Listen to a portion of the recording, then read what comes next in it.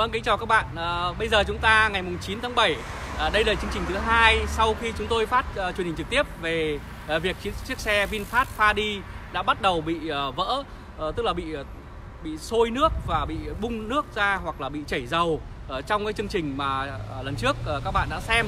Và bây giờ uh, đang đến chương trình uh, thứ hai.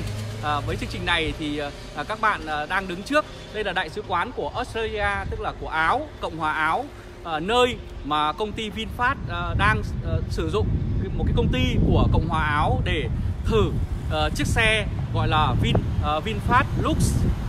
Uh, đây là một dòng xe VinFast Lux thì các bạn uh, hãy xem những cái hình ảnh mà uh, một số cái nhân viên một số cái nhân viên được cho rằng là một số cái nhân viên của công ty uh, VinFast đã đến uh, Áo Cộng hòa Áo uh, để uh, kiểm tra và xem cái quá trình thử chiếc xe này và họ đã tự chia sẻ cái thông tin đó trên mạng xã hội và chúng tôi đã uh, copy đưa ra để các bạn cùng xem.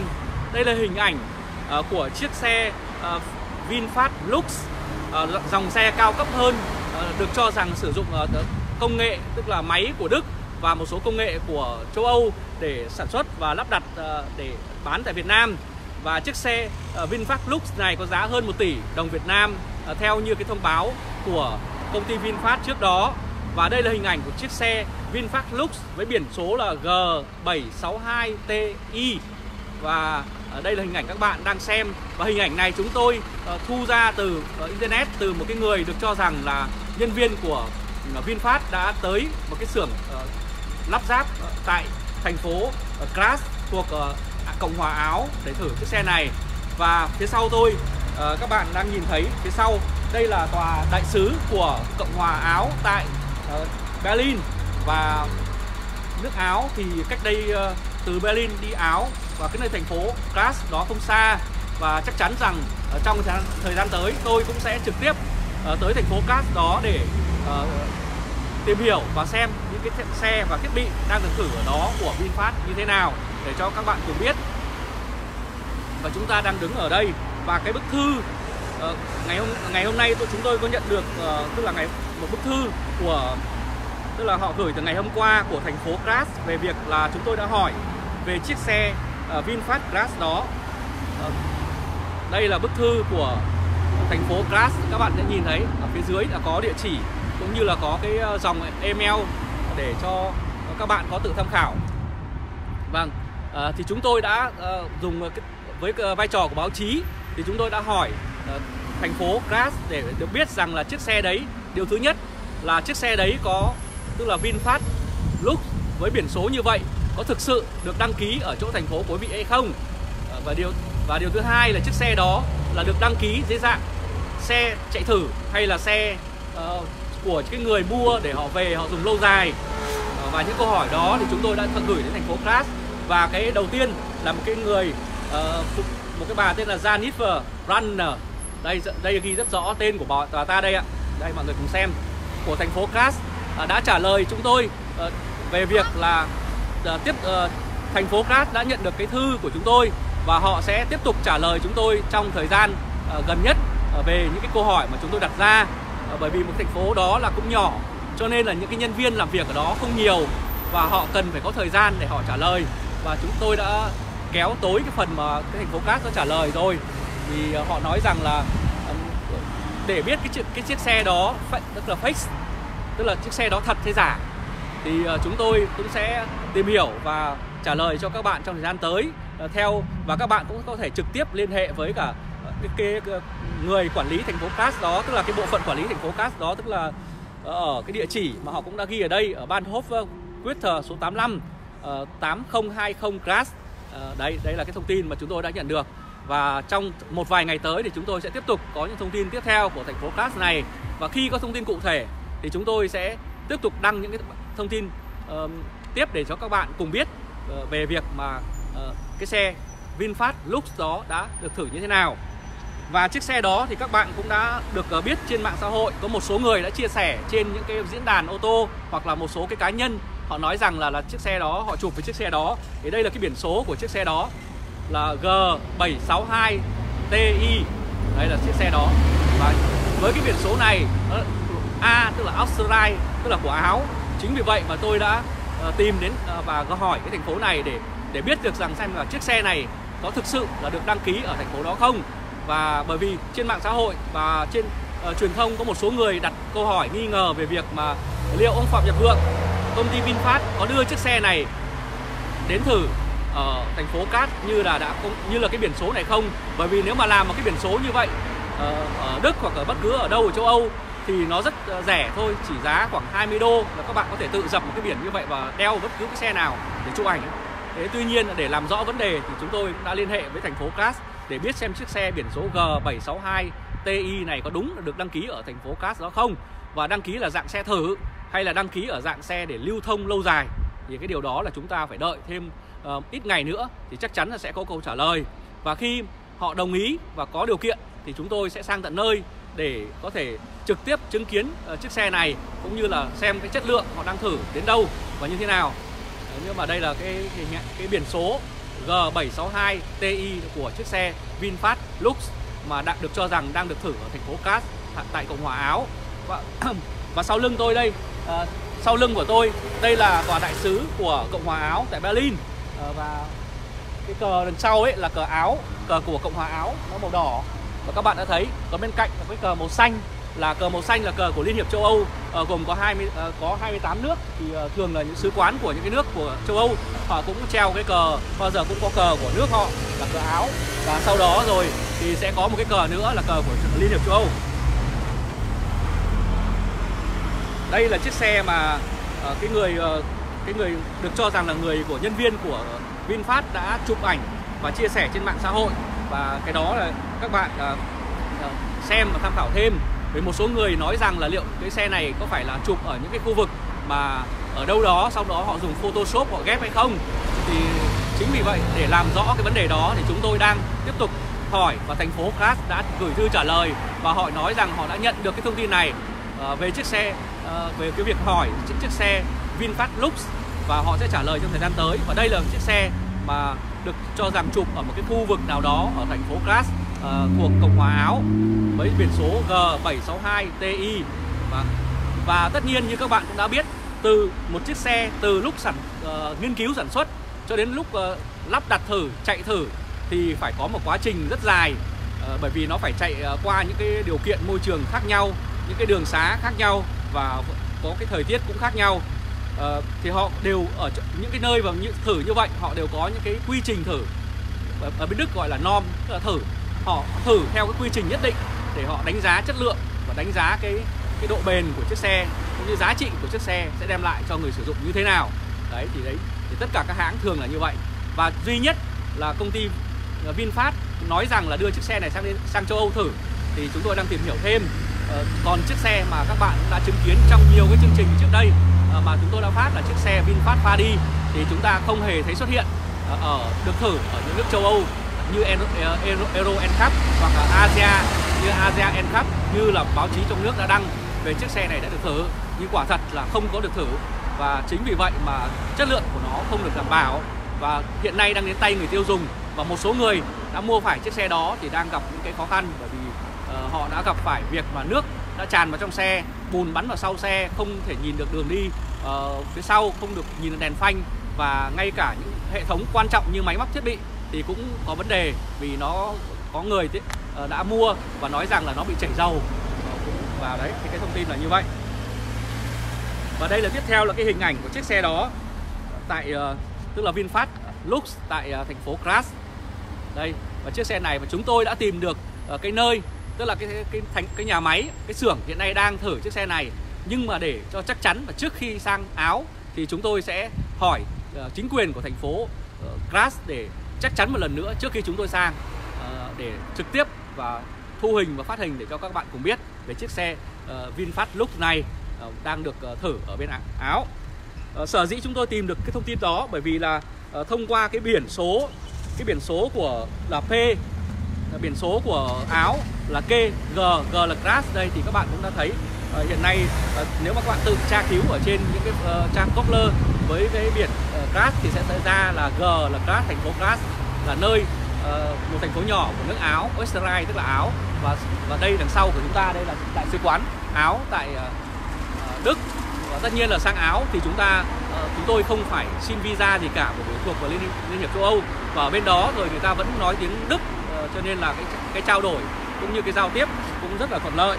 Và đặc biệt là cái thời gian từ đây sang Áo đi thì chúng tôi có thể ờ, uh, đi chuyển di chuyển bằng ờ, tàu hoặc là có thể đi máy bay sang Viên tức là thủ đô Áo. Sau đó chúng tôi đi đi tiếp uh, đến cái thành phố đó. Bởi vì uh, thành phố đấy class này thì nó là một thành phố nhỏ cũng lại phải đi tiếp từ thủ đô Viên mới một, thêm một quãng đường hơn 100 km thì mới tới nơi à, thì đây là cái thành phố Graz đây là địa điểm địa danh hiện nay được cho rằng là có chiếc xe VinFast Lux đang được thử ở đó. Đấy thành phố Graz đây. Và các bạn có thể tự ờ, đánh chữ Graz vào trong cái cốc lơ thì các bạn cũng sẽ tự tra cứu được cái thành phố Graz ở đâu và cách Đức bao xa cũng như là uh, có cái thông tin chi tiết hơn về cái thành phố này. À, thì ngoài ra chúng tôi cũng đã tra cứu và tìm hiểu về cái việc mà biển số xe ở trong các vùng của Ờ, thành nước Áo đã được ờ, quy định rất rõ ràng. Thì đây là cái ờ, sơ đồ tức là biểu đồ của cái, cái, mã vùng của những biển số xe là cụ thể. Đây là G G tức là thành phố Cát đúng địa danh đó luôn. Đấy thì thì đấy là cái bằng chứng để chứng minh cho việc là chiếc xe đó là đã được đăng ký được cho rằng là được đăng ký với biển số xe ở thành phố Cát thì như vậy là cái việc tìm hiểu của chúng tôi đang tiếp diễn tiếp tục và thành phố Cát đã bắt đầu gửi thư để trả lời chúng tôi là ờ, họ sẽ trả lời chúng tôi trong thời gian gần nhất, sớm nhất. Đây là thư của thành phố Class với cái ờ, địa chỉ của cái nơi mà người ta gửi cho tôi. Rất rõ ràng là trên ờ, là người tên là Janis Ranker đấy, tức là cái người mà chịu trách nhiệm trả lời những cái thông tin cho thành phố Class đó. Và ở dưới cùng các bạn cũng nhìn thấy cái logo của thành phố Class rất rõ ràng. Và bên trên này thì các bạn cũng thấy cái cái nội dung, cái nội dung của cái bức thư đó đây thì ờ, đây là nội dung. Và ở trên nữa thì các bạn cũng thấy hai cái hình ảnh nhỏ mà tôi cũng đã cố tình ờ, ờ, đưa đưa vào in vào đây cùng với cả cái thư này một cách cụ thể. Đấy là hai cái hình ảnh mà à, hai, tức là ảnh chiếc xe với các biển số xe để tôi hỏi họ. Thì họ xác định xem là đây là biển số xe thật hay xe giả. Và chính vì vậy mà thành phố cần phải có thời gian để tìm hiểu thêm và sẽ cung cấp cho chúng ta trong thời gian vài ngày tới. Đấy. Thì cũng một cách khác nữa thì chúng tôi cũng đã tìm hiểu trên tại Áo nếu mà đăng ký một chiếc xe ờ, ờ, như vậy để chạy thử hoặc là để mua, để dùng lâu dài thì phải có tem đăng kiểm ờ, VinFast Lux tại thành phố khác của nước Áo, phải có tem đăng kiểm. Thì các bạn để ý là trong bức ảnh mà cái người được cho là nhân viên của VinFast đã đến đó họ chia sẻ trên mạng xã hội thì chúng ta thấy rõ rằng là trong cái góc này cái góc trên cùng ở phía trên thì sẽ có một cái hình trắng nhỏ, đấy là cái tem kiểm định tức là tem tem đăng kiểm VinFast lúc tại thành phố Graz của nước Áo. Thì phải có cái tem đó tức là phải có cái tem đó thì các bạn uh, mới có thể uh, tức là cái xe nào đi ở Áo cũng phải có tem đó thì mới có thể đi ra lưu thông ngoài đường được. Chứ không thể ờ, không thể nào mà chạy xe mà không có tem được. Thì điều đó một thêm một bằng chứng nữa chứng tỏ rằng là chiếc xe này có thể là đang được uh, chạy thử ở thành phố cát thuộc Áo. Và cái đây là bằng chứng. Và và cũng uh, nếu mà chúng ta xem những chiếc xe khác ở Áo để có được đăng ký ấy và có được tem đăng kiểm hay không thì có thể kiểm tra thêm ở những chiếc xe khác của, cũng của thành phố này đăng ký. Ví dụ như chiếc BMW này, biển G, cũng là của thành phố Graz và ở góc trên cùng ấy, thì các bạn cũng đã thấy, đây tôi soi gần để các bạn nhìn thấy, là cũng có cái tem đăng kiểm ở góc bên trên. Chỗ là người ngồi ghế cạnh và màu trắng đó, đấy là tem đăng kiểm. Thì tất cả chiếc xe nào ở lưu thông ở Áo đều phải có tem đăng kiểm này. Để khi mà cảnh sát kiểm tra thì cái tem này phải có cái thời hạn đúng ờ, thì mới có thể lưu lưu thông và lưu hành ở trên những cái uh, đường xá ở ở Áo được. Đấy. Thì đấy là cái thông tin như vậy. Và ngoài ra thì cũng có một người khác chia sẻ trên cái diễn đàn ờ, ờ, uh, EOFFB thì đây là diễn đàn đấy tên là Diễn Bùi. Anh này tên là Diễn Bùi cũng chia sẻ là lấy cái ảnh đó đưa lên. Anh Diễn Bùi này là anh nói rằng là đang bán ở nước nào. Thì cái việc mà bán hay không thì thì cái đấy là chúng ta chưa biết. Tuy nhiên thì anh này chỉ có một trong một thời gian Ờ, rất ngắn. Tức là anh cha chia sẻ trong vài tiếng thôi trên cái diễn đàn này. Thì lập tức là khi chúng tôi comment tha vào trong cái trong cái phần ờ, chia sẻ của anh ta tôi nói rằng là tôi sẽ trực tiếp uh, điều tra cái chiếc xe này tại thành phố Graz ở Áo. Thì lập tức là cái cái bài này biến mất của anh uh, diễn bùi biến mất uh, cùng với cái bức, bức ảnh. Và đồng thời là uh, bản thân tôi cũng uh, khi comment tha xong rồi lúc sau vào không được nữa. Bởi vì cái diễn đàn này là OFFB tại Hà Nội này đã đã block luôn tôi ra và không cho phép mình comment tha, mặc dù những cái comment tha của tôi chỉ mang tính chất xây dựng. Tức là tôi chỉ viết là tôi sẽ đến đấy điều tra và kiểm tra xem chiếc xe này ở đâu, ai dùng và ờ, dùng vào việc gì. Thế thôi, và tôi sẽ chia sẻ, nhưng mà họ block ngay, lập tức. Thì đấy là những cái thông tin như vậy là có lẽ ở trong nước họ không muốn nghe, mà họ chỉ muốn là đưa ra quảng cáo, quảng bá. Ờ, nhưng mà khi mà có người muốn ờ, điều tra cụ thể, thì những diễn đàn như vậy và những cái thông tin như vậy lập tức là tìm mọi cách để che giấu đi, thì điều đấy rất là khó khăn cho cái việc mà người dân Việt Nam ờ, ta ờ, tiếp cận được thông tin sự thật ờ, như là chúng ta cần phải biết và cần phải có. Đặc biệt là với những cái phương tiện ô tô tức là những ô tô là những cái thứ mà và các bạn đã biết, ô tô là cái thứ mà rất là quan trọng trong quá trình sử dụng là nó phải an toàn. Đấy, nó phải đảm bảo mọi cái tiêu chuẩn thì mới giữ được tính mạng con người và nó là cả một cái tài sản lớn hơn một tỷ đồng Việt Nam. Cho nên là cái điều đó cũng càng quan trọng hơn nhưng mà cái thông tin ở Việt Nam thì có vẻ như là thường là bị xóa khóa đi hoặc là không muốn uh, biết sự thật. Thì điều đó cũng rất là khó khăn cho cái việc uh, người Việt Nam tiếp cận được thông tin cái sự thật uh, trong thời gian vừa qua. Nhưng mà hy vọng tới đây báo chí trong nước và báo chí ở nước ngoài và thông qua mạng xã hội thông qua Facebook và các phương tiện YouTube của thời báo thì các bạn sẽ biết thêm được cụ thể những thông tin uh, khi mà nó diễn ra. Thì đây là cái người mà chủ tịch của VinFast là bà Lê Thị Thủy đây. Uh, bà Lê Thị Thủy. Và bà Lê Thị Thủy hiện nay đang là người phải chịu trách nhiệm Ờ, để sản xuất cũng như là để bán ờ, và chịu trách nhiệm ờ, về trước pháp luật về những cái tính mạng của con người của những người mua xe đó lưu thông trên xe đó. Nếu mà người ta tai nạn vì chiếc xe, xe đó bị lỗi kỹ thuật mà họ chết hoặc là họ bị cháy hoặc là bị thương thì những công ty như thế này phải đền bồi thường rất lớn. Ở Đức hoặc là ở Mỹ thì các bạn cũng đã biết nhiều cái vụ xảy ra như vậy. Và cái điều đó cũng không thể tránh khỏi đối với cả những công ty mới sản xuất mới đi vào sản xuất ô tô như công ty VinFast của ông Phạm Nhật Vượng của những người ở trong nước. Thì thì trước đó thì các bạn cũng đã chứng kiến việc mà ông ờ, thủ tướng Nguyễn Xuân Phúc ờ, và cũng đã rất là chăm chú quảng cáo cho cái công ty VinFast này. Thì uh, đây là hình ảnh của ông Nguyễn Xuân Phúc đã đến uh, thăm một cái xưởng sản xuất uh, xe lắp ráp xe của ông Phạm đi cùng ông Phạm Nhật Vượng. Thì các bạn thấy rất rõ là ông ta ông Vượng thì chỉ trỏ còn ông Phúc thì nhìn theo. Thì cái điều cũng rất là khó cho ông Nguyễn Xuân Phúc là ông ta với chỉ trình độ trình độ học vấn của ông Nguyễn Xuân Phúc chỉ lớp 10 thôi, tức là chính thức chỉ có lớp 10 thế thế thì làm sao mà có thể biết được cái kinh tế thị trường để mà làm? Khi mà ông ta phải đối đầu, khi ông ta phải có những cái người, gặp phải những cái người như ông Phạm Nhật Vượng. Ông ta, ông Phạm Nhật Vượng thì đã từng du học ở bên ờ, Ukraine và ông ta đã có thời gian kinh doanh thành công, sản xuất mì tôm tại Ukraine. Và sau đó ông ta bán xưởng mì tôm đấy đi và về Việt Nam kinh doanh.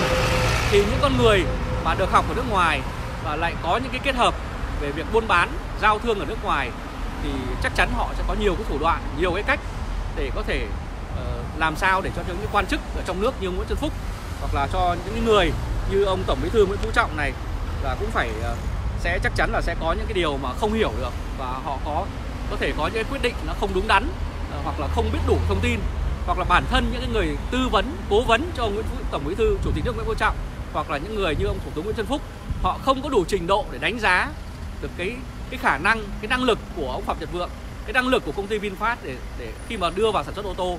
Cho nên là có thể có những quyết sách sai có thể có những cái ưu ái nhầm. Vì khi chưa biết chất lượng chưa biết người ta làm sao mà đã đi quảng cáo rồi thì điều đó là rất là tệ. Và ông Nguyễn Phú Trọng thì các bạn cũng đã biết ông ta chỉ có một cái bằng duy nhất mà tôi biết được là ông ta đi học ờ, làm luận án phó tiến sĩ xây dựng đảng ở bên Nga Liên Xô ngày xưa ở Nga Liên Xô từ những năm ờ, lâu rồi từ năm 80 lâu lắm rồi. Thì uh, ông ta học ờ, có 23 tháng thôi. Và trong khi đó chương trình học là phải 36 tháng, tức là 3 năm. Thì ông ta học 23 tháng thôi thì ông ta về rồi. Thế thì không biết là những cái người bạn học của ông ta chắc chắn sẽ biết là liệu ông ta có học học thật hay không, học bằng Liên Xô. Và tại sao 23 tháng rồi về mà đã thấy có bằng phó tiến sĩ phó tiến sĩ xây dựng đảng? Thì nó cũng chẳng liên quan gì đến ờ, kinh tế, mà cũng chẳng nên chẳng biết gì về kinh tế thị trường cả, chẳng biết gì về ô tô cả. Thì ờ, cái đó chắc chắn là sẽ bị nhiều cái doanh nghiệp khác qua mặt và họ có thể lừa dối ông nếu mà ông không có những đội ngũ tư vấn tốt thì điều đó là chắc chắn sẽ xảy ra. Và cái điều thiệt hại thiệt hại gì? Thiệt hại là cái việc người dân Việt Nam doanh nghiệp Việt Nam sẽ phải mua phải phải sử dụng những loại chiếc xe không đúng chất lượng hoặc là kém chất lượng. Rồi những người dân Việt Nam sẽ phải chịu hậu quả. Đó là những cái tai nạn xảy ra sẽ ngày càng nhiều ngày càng thảm khốc. Và cái tiền số tiền người ta bỏ ra chắc chiêu cả đời. Vay mượn để mua được một chiếc xe cũng sẽ bị uh, trở thành mây khói khi mà họ phải mua về chiếc xe không có chất lượng và không được kiểm định độc lập. Đấy thì đấy là cái thông tin như vậy. À, tuy nhiên để làm được cái điều đó thì ông phạm nhật vượng thì ông ta đã cũng rất là khôn khéo cái việc là đã thuê thuê cả những cái người nổi tiếng trên thế giới như ông David Beckham à, là một cầu thủ cầu thủ bóng đá. À, tất nhiên là khi ở đó thì ông không đá nữa. Rồi bà à, người hoa hậu Việt Nam để mang những chiếc xe như thế này. Đấy, mang những chiếc xe như thế này để đến để đi uh, chuyển lãm ở Paris ở Paris để quảng cáo cầm cái cờ đi vào để thái thế. Thế thì ông David Beckham này thì ông người ta thì những cái người như thế này ấy, thì họ đều có một cái team tức là có cái hãng để chuyên môn đi nhận những hợp đồng quảng cáo uh, cho những công ty muốn. Ví dụ công ty Coca-Cola muốn quảng cáo và trả đủ tiền thì ông ta cũng quảng cáo. Rồi công ty ô tô VinFast để trả một vài triệu một triệu euro một vài triệu euro gì đấy thì ông ta quảng cáo thôi. Ông ta cũng chẳng biết cái xe này có đi được hay không có tốt hay không. Nhưng mà bảo ông ta đến để chụp ảnh cùng thì ông ta cứ đến khen thì cứ khen thế thôi. Bởi vì ông ta lấy tiền khen để lấy tiền. Nhưng mà chết là chết người dân cái người mua xe vì nếu mà không được kiểm định mà chỉ xem những cái hình ảnh như vậy xem những cái thứ như thế này xong đó rồi là thấy cầm cái cờ Việt Nam nữa là cứ bảo là đây là niềm tự hào. Như Nguyễn Xuân Phúc nói là đây là niềm tự hào của Việt Nam. Đấy, thế thì cầm cờ thế thì đi vào để mua cái xe mua mua được niềm tự hào ủng hộ Việt Nam hoặc là mua xe thì là yêu nước. Đấy bởi thì đây là cái khéo rất khéo léo của cái doanh nghiệp như ông Phạm Nhật Vượng. Ông ta đã rất có kinh nghiệm trong việc ờ, sản xuất mì tôm ở bên ờ, Ukraine rồi và cũng có kinh nghiệm trong việc giao tiếp với các quan chức ở trong nước. Ờ, họ cũng rất muốn có quan chức thì rất muốn có những cái thành tích để ờ, lên chức rồi để giữ vị trí ờ, hơn những người khác. Đấy thì thế là họ cũng nổ theo thôi. Nhưng họ chẳng cần biết là tốt hay không tốt nhưng mà chết là người dân chết. Đấy thì đây là ông David Beckham. Thì ông này khi mà vừa cái lúc mà ông ấy quảng cáo cho ông Phạm Nhật Vượng thì tức là chiếc xe này thì lúc cũng là cái lúc mà thì theo chúng tôi điều tra trên báo chí thì ông ta cũng lại bị uh, cảnh sát Anh đang điều tra vì tội là đi xe quá tốc độ lái xe quá tốc độ. Đấy cũng bị phạt nặng đang bị điều tra đấy thì không hiểu tại sao là ông uh, công ty VinFast lại thuê một cái người cũng lại bị đang bị điều tra về tội uh, giao thông. Như vậy là để quảng cáo chiếc xe thì đấy có thể là một cái điểm gở một điểm gở ngay đầu tiên cho công ty VinFast là đã không chú ý vào chất lượng không chú ý vào người tiêu dùng không lấy ý kiến người tiêu dùng mà để đi lấy lấy lấy những cái hình thức quảng cáo dùng chính trị gia dùng ông Nguyễn Phú Trọng hoặc là dùng ông Nguyễn Xuân Phúc rồi dùng ông David Beckham và Hoa hậu Việt Nam cùng cái cờ Việt Nam để quảng cáo để bán hàng chứ không phải là đi vào chất lượng để bán hàng. Thì đấy là điều hết sức sai lầm à, khi sản xuất ô tô, bởi vì nó sẽ kéo theo rất, hệ lụy rất lớn ở chỗ chất lượng chưa đúng, chưa được kiểm tra cẩn thận mà đã đưa ra thị trường. Thì nó sẽ làm cho ờ, cái vấn đề là chất lượng, lưu thông, rồi những cái người mua sẽ gặp phải trở ngại rất lớn, thậm chí bị chết, bị tai nạn ờ, bị ờ, rất nhiều những cái lỗi khác ờ, đem lại mà cụ thể các bạn đã thấy trong thời gian vừa qua liên tục là xe VinFast Fadi đã bị lỗi lỗi liên tục và những lỗi rất sơ đẳng. Đấy là việc mà chiếc xe mà không có chắn bùn rồi bị nước chui vào trong. Cái lỗi đấy thì bên này những cái người mà học chữa xe chỉ có một một vài tháng họ cũng nhìn ra là cái xe đấy lỗi là thiếu thế mà đem ra bán. Để chứng tỏ là cái người mà ông uh, Nguyễn Phạm Nhật Vượng thuê hoặc công ty này thuê họ chỉ thuê để làm cảnh thôi. Tức là có thể là mượn giấy tờ thôi giống như ở trong nước người ta gọi là mượn giấy tờ mượn bộ giấy tờ để đưa lên để quảng cáo thôi, chứ còn họ không, thực tế họ không có làm gì cả. Họ chỉ ăn lương để mượn giấy tờ thôi, để đi chơi thôi. Đấy.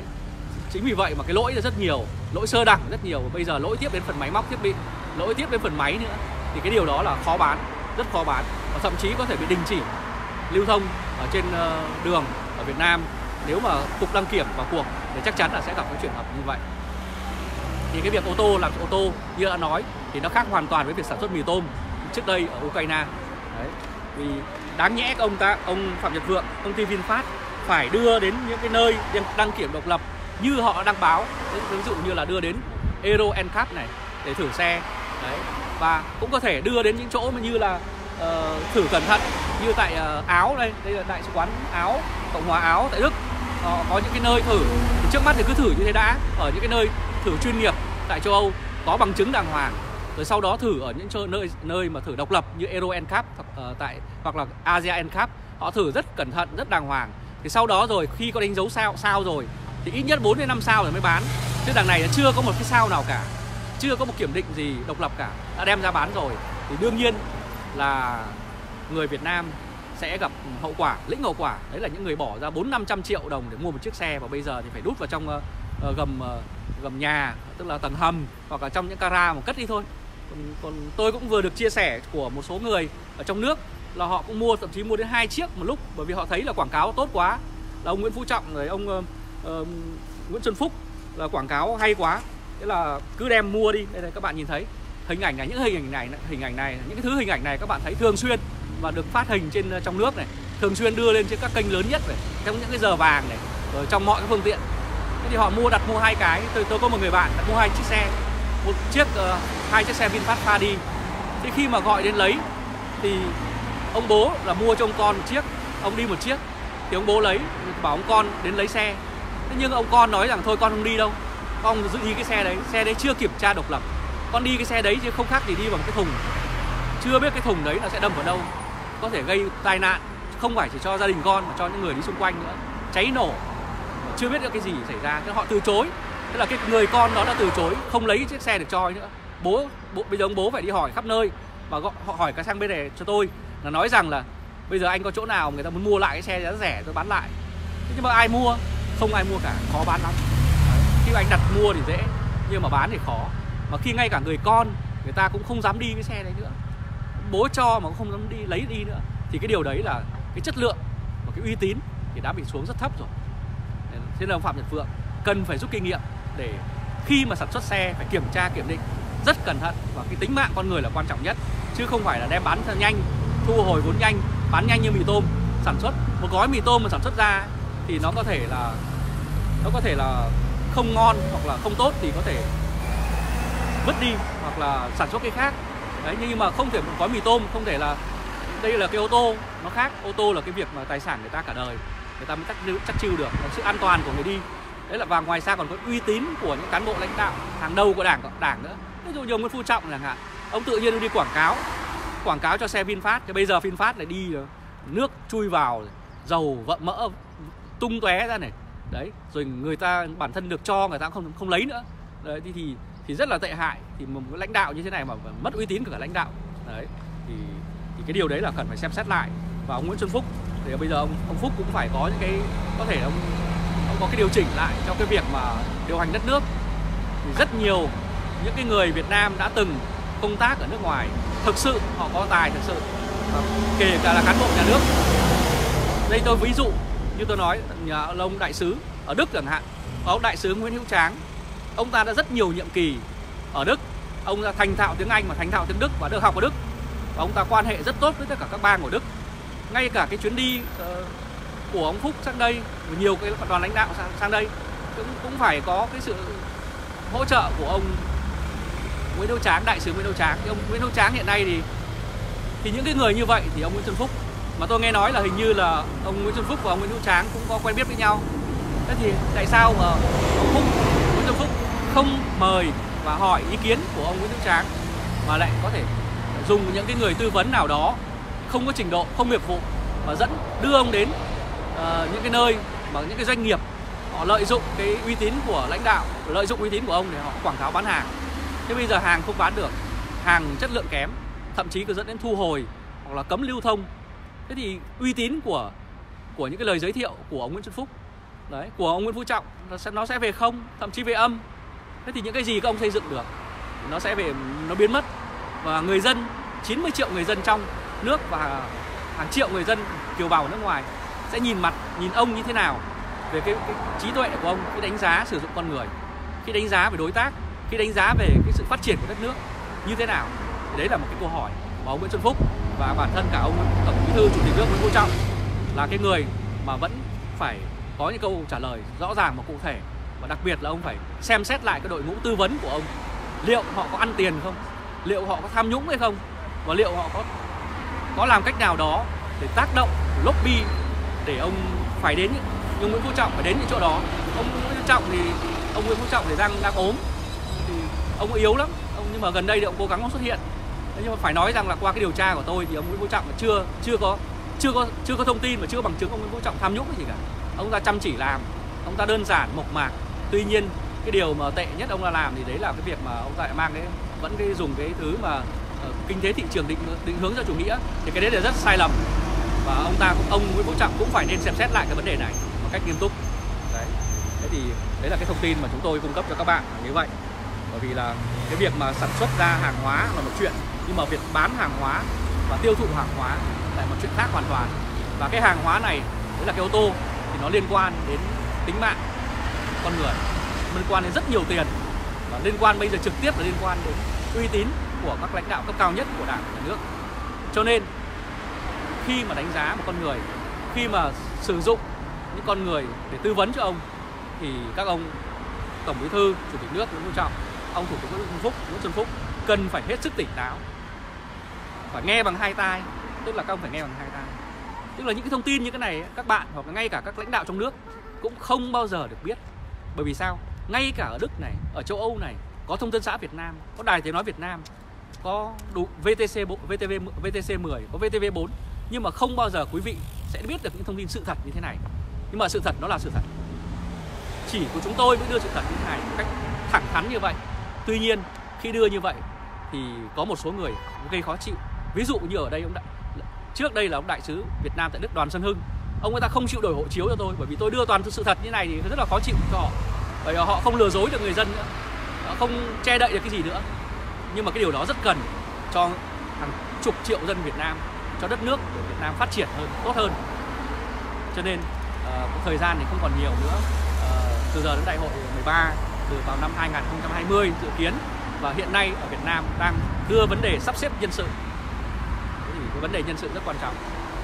Chính vì vậy mà tổng bí thư chủ tịch nước nguyễn phú trọng cùng ông nguyễn xuân phúc phải có cái tư vấn tốt để cho cho Việt Nam chúng ta phát triển được hay không. Đấy là do cái nhân sự. Những cái người lãnh đạo đó phải đủ phẩm chất phải có trí tuệ. Và phải nói, đi đôi với làm. Không tham nhũng. Và phải chứng minh được nếu anh có tài sản tài sản đúng là do anh làm ra còn có một đồng à, khi mà tài sản mà không chứng minh được như ở Đức, thì có thể họ sẽ phải đóng thuế, hoặc là đưa vào vấn đề là anh đã có thu nhập ngoài lương. Vậy thì cái tiền đấy đâu ra? Thì tiền đấy có thể là từ tham nhũng, nhưng cũng có thể họ kinh doanh, gia đình họ kinh doanh, không sao cả. Thì hãy đánh thuế cái tài sản đấy đúng như là cái giá trị của nó và tất cả cái điều đó là phải đưa đưa vào sự thật và cái người mà được đề bạt trong thời gian tới, tức là đại hội 13 thì cần phải có những cái người có trí tuệ. Và kể cả ông Nguyễn Phú Trọng, kể cả thủ tướng Nguyễn Xuân Phúc, khi cần thiết thì chúng tôi cũng sẽ kết nối để hỗ trợ ông trong cái vấn đề mà tư vấn. Bởi vì chúng tôi có những quan hệ rất nhiều với nhiều cái người khác nhau, họ hoàn toàn mong muốn xây dựng đất nước Việt Nam, nhưng mà phải với điều kiện là công bằng, dân chủ và hợp lý và cũng phải có cái sự tự do nữa. Thì đấy là điều chắc là có lẽ nhiều người mong muốn.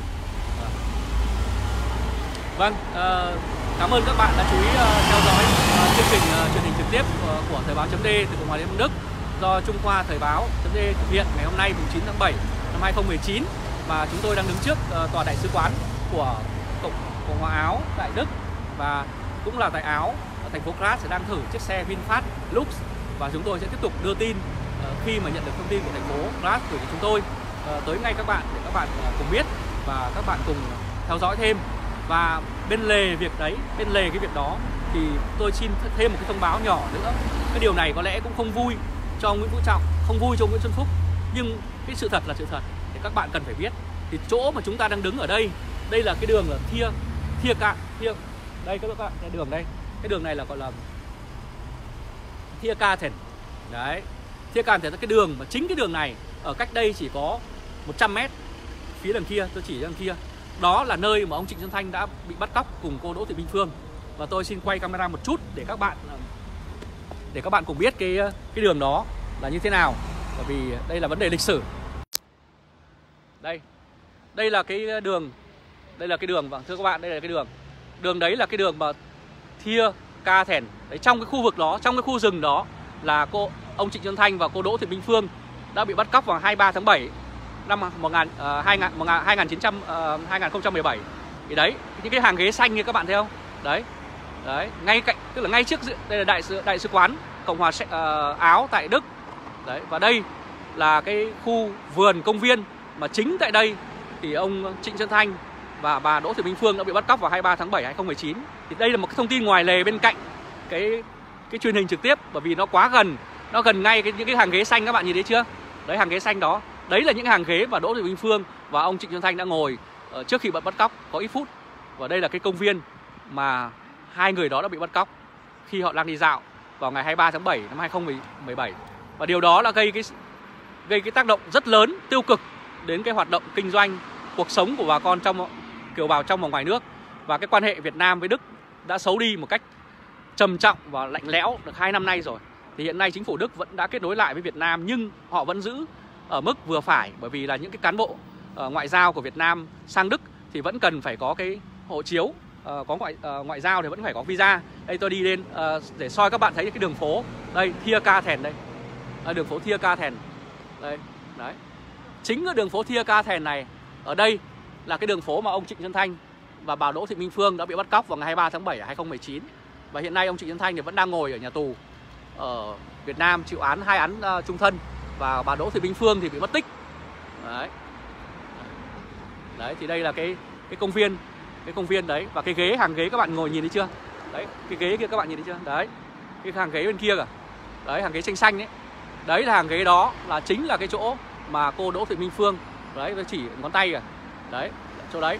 Đấy là đã ngồi đó trước khi bị bắt cóc và đã bị mật vụ Việt Nam ôm lên xe và bắt lôi lên xe và từ đây chạy về sứ quán Việt Nam và giấu ở đó hai ngày trước khi đưa về Việt Nam. Thì đây là cái thông tin rất rõ ràng để các bạn biết. Và ngay đối diện nó là tòa đại sứ của Áo tại Đức. Đây, ngay đối diện nó luôn. Đấy, các bạn thấy không? Cờ áo đấy, đại sứ Áo. Đấy, tôi đi đi gần lại một chút. Đây là đại sứ quán Áo tại Berlin. Và nơi mà nước Áo hiện nay đang thử chiếc xe VinFast Lux cho ông Phạm Nhật Vượng. Thì các bạn thấy là cái sự thiệt hại thế nào của cái việc đó. Đấy. Đấy. Và đấy là khu công viên.